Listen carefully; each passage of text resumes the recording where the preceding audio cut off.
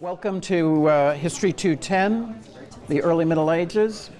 Uh, I'm Paul Freedman, and behind this innocuous title, the early Middle Ages, I think we're going to have to jazz it up a little. I think we're going to put an exclamation mark on it, at least. But behind this innocuous title, you will see, I hope, uh, uh if you stay for this course, a strange course. Strange, uh, not because it covers the particular period 250 to 1000, uh, but because it starts out very recognizable and gets stranger and stranger and seems to dissolve into a kind of a hard to grasp world.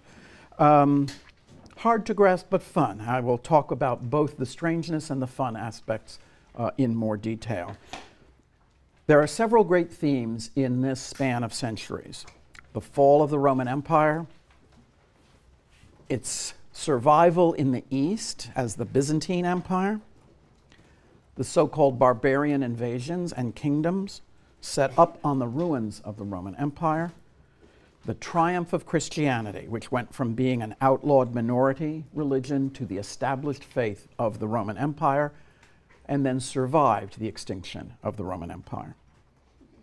Uh, we have uh, two teaching fellows, uh, Lauren Mancia, sitting at this end, and Agnieszka Retz, standing in that corner. Uh, so far, there are sections scheduled for Wednesday at 4 o'clock and Friday at 10.30. Uh, we'll probably have two other sections. Uh, we'll see how large the class uh, is next week. Uh, let me know if those two section times, uh, well, probably the classes the sections to be added would be on Thursday, Thursday afternoon and Thursday evening. But let me know if you have some special problem in terms of the scheduling of your uh, of the sections. Uh, as I said um, when some of you were already here, I'll have some pauses uh, so that if you are shopping and want to look at another course, uh, uh, it'll be um, if not easy, at least possible for you to get up and uh, uh, leave. Um, so I'll have several pauses during the uh, during the uh, presentation. But I should say I do want to give a full class um, uh, discussion today or presentation today. We only have so many opportunities to discuss things, and I'd like to set the scene for you, uh, and I think that will also help you decide um, about taking this course. Now, uh, this course is part of the uh, Yale Open Courses uh, program. Uh, and as you probably know, there are lots of, uh, well, a select number, but a substantial number of courses that are um, uh, offered free to the public via the internet. And this is one of them for the fall. And I take this opportunity to greet our internet students and internet um, uh, friends.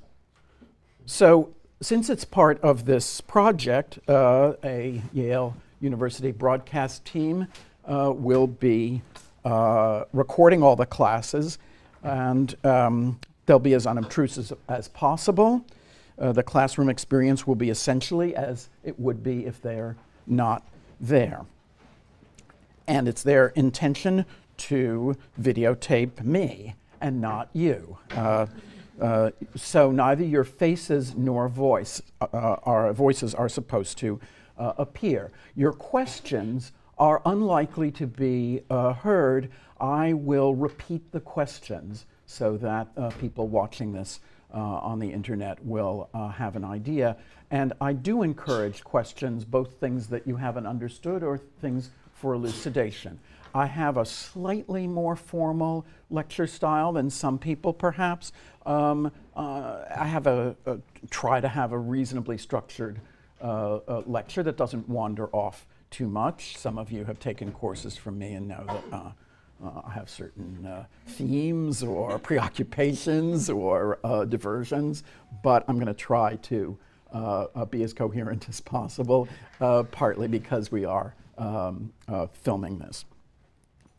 Um, so I, I, hope that you're enthusiastic about the fact that uh, we're participating in this uh, Yale Open Courses initiative. And having said that, now you should just think it away.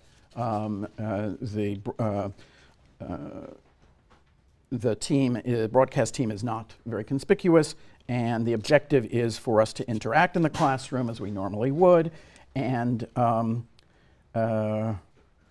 know, this is part of the unique experience of teaching and learning at Yale, so don't hesitate to ask me if you have any questions or uh, concerns. Uh, the syllabus. You all have copies uh, of the syllabus, I believe, and of course, you'll have seen it on the server. Uh, the books are at Yale Bookstore, and they are all there. I'm, I hope there will be enough copies. If not, we will, we will get more. The first assignment is uh, um, conveniently, in this sense, from the course pack. The course pack is at Tyco, the uh, photocopy place on uh, Elm Street. Uh, if you don't know where that is, uh, um, let us know. Um, and the assignments for Monday and Wednesday from the, um, the, those first two assignments are from that book, from Peter Brown's World of Late Antiquity and A.H.M. Jones, Constantine and the uh, Conversion of uh, Western Europe. Questions so far? Right, okay. So uh, the requirements that you see on the syllabus are a short paper that's due October the 10th, a midterm that will be held in class October 17th, and a long paper which is due December 5th. That long paper is a research paper, and we'll be glad to help you choose a topic, offer you suggestions, help you get started on that.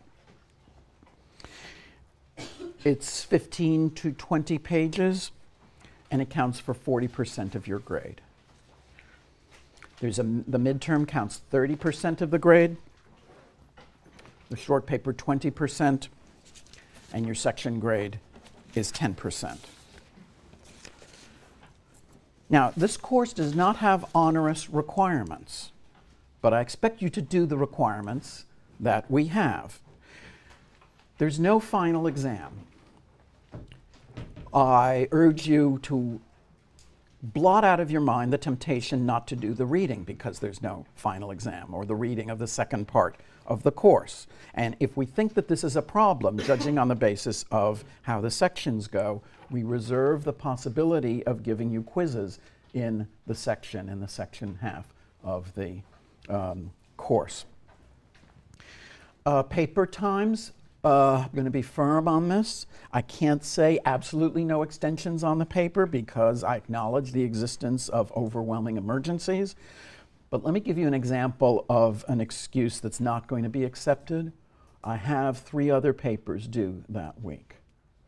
Okay, plan in advance. We are at your disposal. If you want to plan your final paper tomorrow, hey, this afternoon,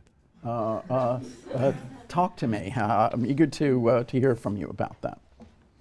Uh, in the sections, uh, we don't want you to bring laptops. And the reason for that is not that we think you're going to be um, Facebooking or answering your email, because we know that you never do that. Um, uh, the laptops, in our experience, interfere with the purpose of the section, which is partly to talk to each other. And rather than focusing on the screen, and then, in a sense, being a series, of archipelago of little islands, rather than a section in the sense of give and take and uh, interchange. If you think that that imposes some kind of hardship on you, I, I think you'll find uh, that uh, uh, uh it is pleasant. And if there's some technical hardship, let me know. So, logistical questions? Questions about the organization of the course or uh, any other aspect of this? Good, that means that I'm uh, clearer than uh, on some occasions. so, uh, uh, if anybody is uh, wants to leave now, this is one opportunity. But since it looks like I have your attention riveted, let me introduce the course in terms of its actual content. We are beginning by looking at the crisis of the Roman Empire, and then we will be looking at its peculiar legacy. In the year 1000, where we stop, we will still be dealing with the inheritance of the Roman Empire, the title of Chris Wickham's book, one of the books that we're going to be using a lot.